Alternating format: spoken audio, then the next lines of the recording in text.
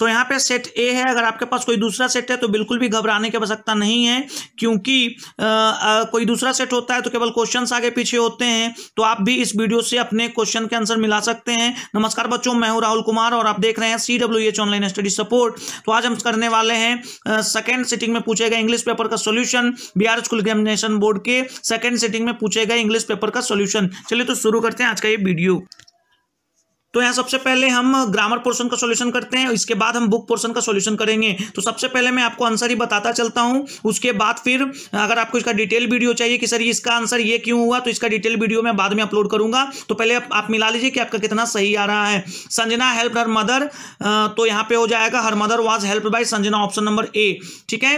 Her mother was help by Sanjana option number A next question क्यों आते हैं? When is coffee taken by you तो when do you take coffee when do you take coffee option number B फिर आइए the trees provide oxygen तो इसका हो गया oxygen is provided by the trees oxygen is provided by the trees option number D फिर आइए is Maithili spoken by them तो do they do they speak Maithili do they speak Maithili option number B next question की ओर चलते हैं. Next question जो हमारा है he said what a beautiful place it is तो इसका हो गया he exclaimed with wonder that it was a very beautiful place option number B she said to me have you seen my mobile तो she asked me if I had seen her mobile option number A next question Rita asked Mita what is the problem तो Rita asked Mita what the problem was option number D next question क्यों आते हैं। She said I have finished my work तो इसका हो गया she said that he had finished her work option number A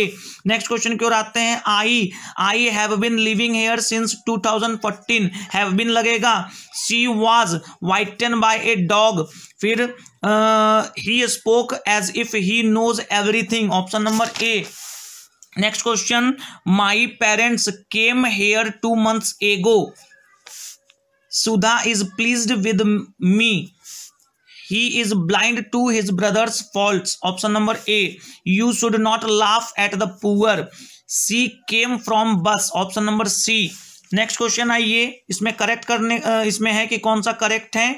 कौन सा वर्ड मीनिंग सही है? तो बिटवीन सही है B T W double E N cunnings U double N I N G फिर applaud A double P L A U D फिर continue C N C O N T I N U E option number A वह चार घंटे से पढ़ रही है। He has been studying for four hours option number C next question आइए। राधा सीता से ज़्यादा तेज है। Radha is more intelligent than Sita option number B Ganga को प्रदूषित नहीं करना चाहिए। We should not pollute the Ganga. फिर आइए। वह तैरना जानती है she knows how to swim तो यहाँ पे साठ नंबर का यहाँ पे मैंने पूरे ग्रामर पोर्शन का सॉल्यूशन कर दिया। बुक पोर्शन का सॉल्यूशन जल्द से जल्द मैं आप लोग के लिए लेके आ रहा हूँ। आप हमारे चैनल पर बने रहें। चलिए तो शुरू करते हैं। देखते हैं अपना नेक्स्ट वीडियो और एक चीज़ और, अगर आपको कल के हिंदी का भी क्वेश्चन का सोल्यूशन चाहिए और हिंदी के लिए इंपॉर्टेंट ग्रामर का ऑब्जेक्टिव चाहिए तो आप हमारे channel C W H online study support को सब्सक्राइब कर दें। और इस वीडियो को लाइक करें। ग्रामर बुक पोर्सन का सोल्यूशन बहुत जल्द आ रहा है।